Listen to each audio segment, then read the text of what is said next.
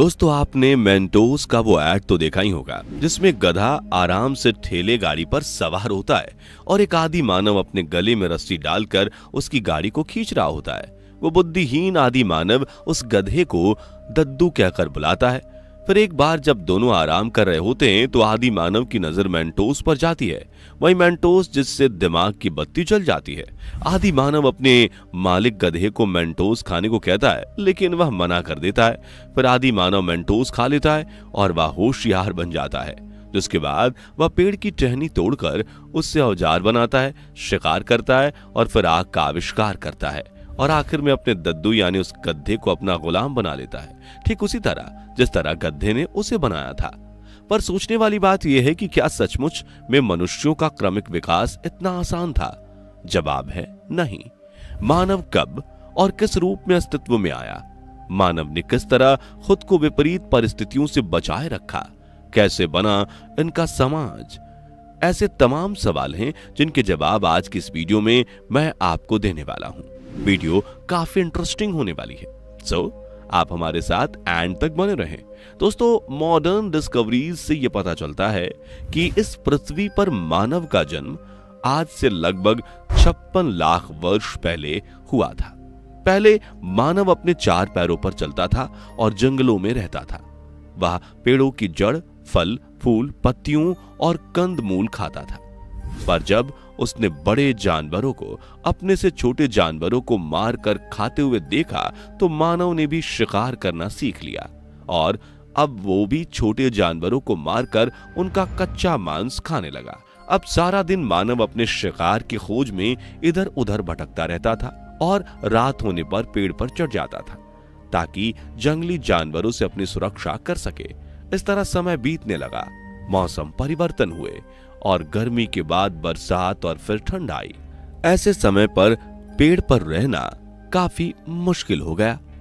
पर जब उन्होंने भालुओं और शेरों जैसे जानवरों को गुफाओं में रहते हुए देखा तो मानव ने भी पेड़ों से उतरकर गुफाओं में रहना शुरू कर दिया। धीरे धीरे यह वानर जैसा मानव विकास करता गया।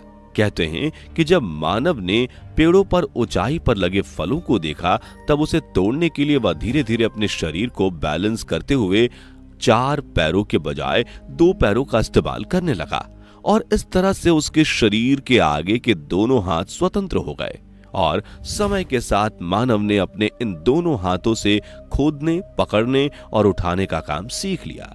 जब मानव अपने पैरों पर खड़ा हुआ तो उसे दूर तक दिखाई देने लगा था। इसलिए अब वह अपने चारों ओर के दृश्य को देखने के लिए अपने पूरे शरीर को घुमाने के बजाय सिर्फ़ अपने गर्दन को घुमाने लगे। और इस तरह मानव में धीरे धीरे कई शारीरिक परिवर्तन हुए। वैसे शायद आपको पता ना हो, उस समय के मानव के दिमाग का साइज़ केवल एक सेब जितना बड़ा था और इनकी लंबाई महज चार फीट तक होती थी। लेकिन समय के साथ जब इनका विकास हुआ तो न सिर्फ़ इनकी लंबाई बढ़ी, बल्कि इनके दिमाग का साइज़ भी बढ़ा। और अब दिमाग का साइज़ जब बढ़ा, तब मानव के सोचने समझने की शक्ति भी विकसित होने लगी। अब वह पीठ के बल सोने लगे वह चलते हुए भोजन करने लगे। उन्हें रोने और हंसने की आवाज़ में अंतर समझ आने लगा। अब मानव अपनी मूलभूत जरूरतों जैसे भोजन, आवास और सुरक्षा के बारे में सोचने लगा, क्योंकि उस समय तेंदुआ ही एक ऐसा मात्र जानवर था जो उन्हें बराबरी की टक्कर देता था और उनके जीवन के लिए एक बड़ा खतरा होता था। एक्चुअली होता यह था कि मानव अपनी सुरक्षा के लिए पेड़ों पर चढ़ता था तो तेंदुआ भी पेड़ों पर चढ़कर उनका शिकार कर लेता था। खुद के बचाव के लिए उनके पास ना तो कोई हथियार था और ना ही उनका कोई साथी। धीरे धीरे मानव को यह समझ में आ गया कि ये अकेले जंगली जानवरों का मुकाबला नहीं कर सकते। इसलिए अब मानव झुंड में रहने लगे थे। और अब जब एक साथ कई दिमाग मिले तो यहाँ अवजारों का जन्म हुआ। मानव अब अपनी सुरक्षा के लिए अवजार भी बनाने लगे। मानव ने अवजार के रूप में सबसे पहले लकड़ी, जानवरों की हड्डियों सिंघों धारधार नुकीले पेड़ों का इस्तेमाल किया। समय के साथ उन्होंने पत्थर के भी औज़ार बनाए। औजारों के दम पर ही मनुष्य ने शिकार करना सीखा। औजारों से औज़ार बनाना सीखा और सबसे महत्वपूर्ण, औजारों से अपने ज़्यादा ताकतवर जंगली जानवरों से खुद का बचाव करना सीखा। अगर मनुष्य खुद का बचाव नहीं कर पाता तो उसका हज़ारों साल से से धरती पर टिके रहना असंभव था। एक बार जब एक मानव एक पत्थर को दूसरे पत्थर के ऊपर घिसकर उसके औज़ार बना रहे थे तभी उसमें से एक जोरदार चिंगारी निकली और उसी चिंगारी से पास के सूखे घास फूस में आग लग गई। उस समय मानव को कुछ समझ नहीं आया कि यह अजीब से दिखने वाली गर्म चीज़ क्या है। वह डरकर अपने झुंड के लोगों के पास भागता है और उन्हें जाकर इस विचित्र घटना के बारे में बताता है। जब तक वो वापस आए आग को देखने, तब तक वह आग बुझ चुकी थी। जिसके बाद सब निराश होकर लौट गए। लेकिन एक दिन फिर अचानक से तेज गर्मी की वजह से जंगल में आग लग गई, जिससे बहुत सारे जानवर झुलस कर मर गए। बाद में जब आग बुझी और मानव जंगल में गए, तब उन्होंने जले मरे हुए पशुओं के मांस को खाया, जिसका स्वाद उन्हें काफ़ी बेहतरीन लगा। और तब उन्हें समझ में आया कि यह विचित्र से दिखने वाली चीज़ उनके लिए किसी खजाने से कम नहीं है। अब वो पत्थरों को आपस में टकराकर आग जलाने लगे और फिर उस आग में मांस को भून कर खाने लगे। इस आग का इस्तेमाल सर्दियों में वो खुद को ठंड से बचाने के लिए और अंधेरे में उजाला करने के लिए भी करने लगे। दोस्तों जैसे जैसे समय बीतता गया, मानव ने पशुपालन के साथ साथ कृषि करना भी सीख लिया। मानव जब भी कोई फल खाता तो अनजाने में ही उसके बीजों को अपने आसपास फेंक देता था। जो समय के साथ पेड़ में तब्दील हो जाता था। जब मानव ने इस चीज़ पर ध्यान दिया तो वो जानबूझकर दूर दराज के क्षेत्रों से अपने मनपसंद फल को तोड़कर लाते और उसके बीजों को अपने आसपास फेंक देते, जिससे समय के साथ वह बीज पेड़ बन जाता। लेकिन यहाँ मानव के लिए एक चीज़ काफ़ी शॉकिंग थी। उनके द्वारा फेंके हुए बहुत से बीज पनपते नहीं थे और उन्हें इसका कारण उस समय समझ नहीं आता था। पर जब समय के साथ मानव थोड़े और विकसित हुए, तब उन्हें समझ में आया कि इन बीजों के पनपने के लिए मिट्टी के साथ साथ पानी की ज़रूरत पड़ती है।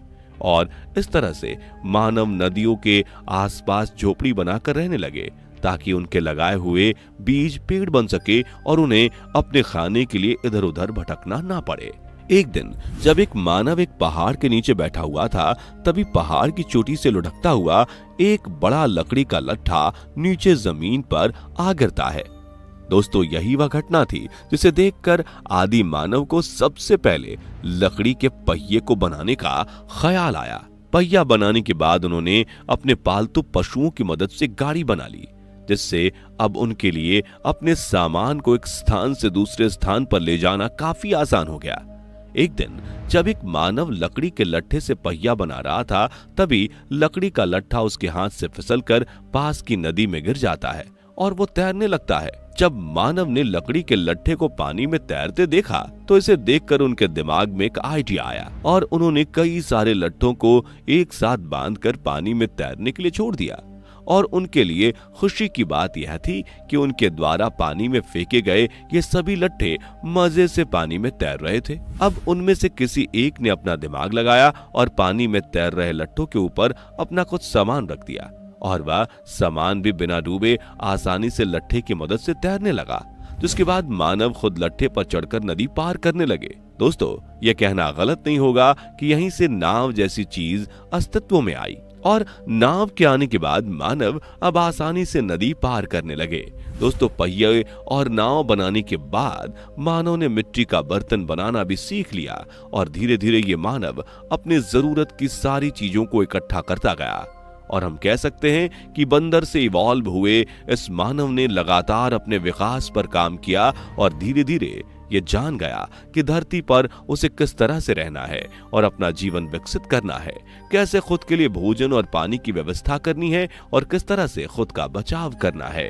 तो दोस्तों, आज के लिए फ़िलहाल इतना ही। वीडियो अच्छी लगी हो तो इसे लाइक और कमेंट के साथ शेयर भी करें।